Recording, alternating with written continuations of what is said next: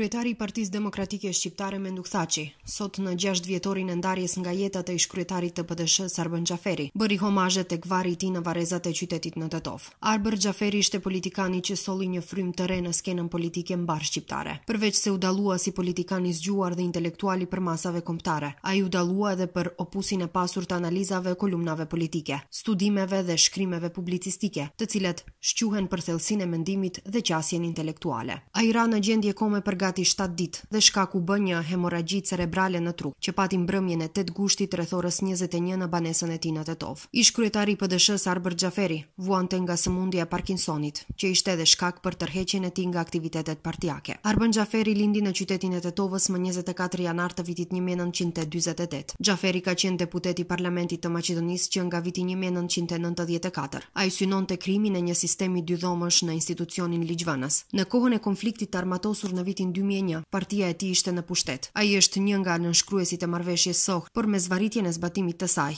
ai synonte një marrëveshje të re midis shqiptarëve dhe maqedonasve. Xhaferi njihej për opinionet filozofike gjatë paraqitjeve në media dhe është autori shumë eseve dhe artikujve analitike, pas tërheqjes nga politika aktive.